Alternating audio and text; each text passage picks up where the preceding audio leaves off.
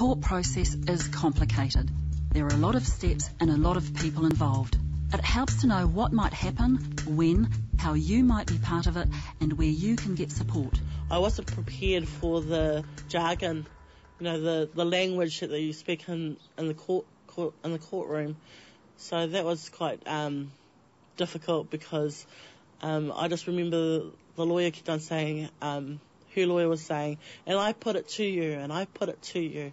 And I don't know what she meant but I put it to you. So we don't, it's not the kind of lang- language you use every day. My job as a victim advisor is to ensure that we are clear, that we can retell the person in a simple way or just help translate some of the things that are going on. Our job is to just ensure that they know what's happening, that their voice is being heard, and that they have someone within the court system who acts as their eyes and ears. One thing you can be assured of as a victim is that you would have the same victim advisor who would ring and introduce the service to you the defendant comes to the court, they'll appear before the judge or magistrate, and as soon as we have an outcome from that, we will contact the victim either by phone, uh, email, whatever uh, the police have given us as information, details of the victim. I'm a police prosecutor, so my job is to check files that come into the office, check that there's enough evidence, and then to appear in court for the police. For some crimes, some of the more serious crimes, they end up being dealt with by a Crown prosecutor, and a Crown prosecutor is a lawyer. It is the Crown versus the defendant, and uh, you are a witness for the Crown. Even though you may be the victim of the crime, uh, you are only you are only a witness. I was reminded of that.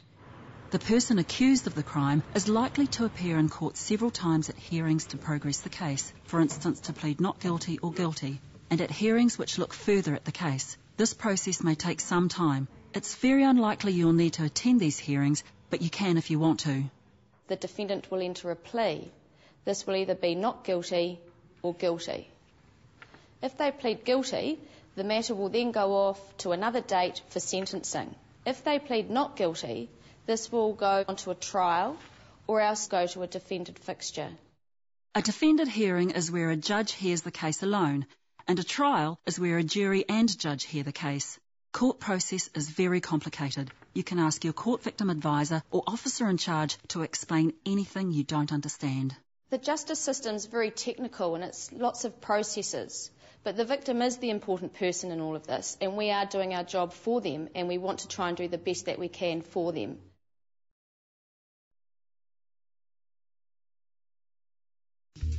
There are a lot of people you might see in a courtroom. It can be a very busy place. The judge is in charge of the court. They decide if the accused person is guilty, or if there is a jury, the jury will decide this instead. The prosecutor takes the case on behalf of the Crown and aims to prove the person accused of the crime is guilty beyond reasonable doubt. The officer in charge is the police officer in charge of your case. The defendant, also called the accused, is the person charged with committing the crime. The defence lawyer represents the defendant or accused. The registrar helps the judge and makes sure that the court processes are followed. The court victim advisor helps you understand the court process. Court security makes sure everyone is safe at court. The jury listens to the evidence and decides if the person charged is guilty beyond reasonable doubt. Journalists can report on cases, but in cases of sexual violence are automatically forbidden to report any details that might identify the victim.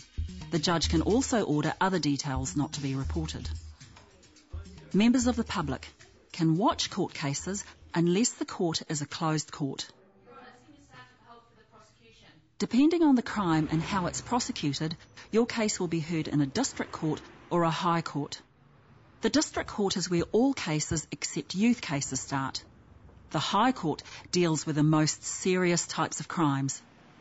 If you are a victim of crime committed by a young person, your case will most likely be dealt with through the youth justice process.